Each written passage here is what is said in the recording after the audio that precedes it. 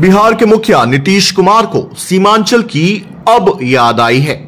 बाढ़ से तबाही और बर्बादी का निशान देखने के लिए सीएम कटिहार पहुँचे हैं।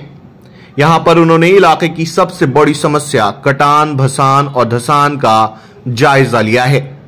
सीएम ने गंगा कटाव प्रभावित इलाकों का एरियल और स्थलीय सर्वेक्षण किया। इस बाबत उन्होंने मनिहारी के बागमारा इलाके का दौरा किया है। सीएम नीतीश कुमार पटना से हेलीकॉप्टर के ज़रिए कटिहार पहुँचे, जहाँ पर उनका जोरदार अभिनंदन किया गया।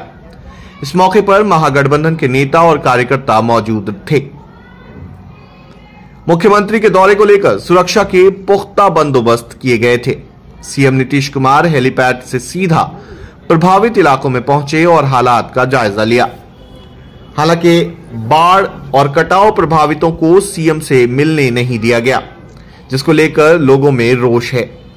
बहरहाल, आम लोगों से मुलाकात हो या न हो, पर सीएम ने तो इतनी दरिया दिली दिखाई है कि उन्हें जनता की परेशानियों की फ़िक्र है। यही वजह है कि वो सीधे प्रभावित एरिया में पहुँचे हैं, जिसको लेकर लोगों में उम्मीदें भी काफ़ी हैं। अब देखिए, आगे आगे होता है क्या। के बारे में भी बात हुई है, वो उनके मन ये है, वो अपना जो प्रधान सचिव है, उनको बोले हैं कि कटाव पीड़ितों का भी समस्या को आप देखिए।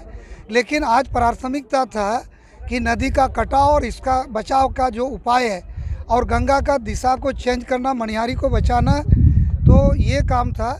लेकिन जाते जाते मैंने कहा कि मीडिया के लोग यहाँ है तो माननीय मंत्री जी ने कहा कि हम लोग आगे का प्रोग्राम के लिए लेट हुआ, यहाँ समय ज़्यादा लग गया तो मीडिया को आप जाकर के संबोधित कर दीजिए। अच्छा क्या लग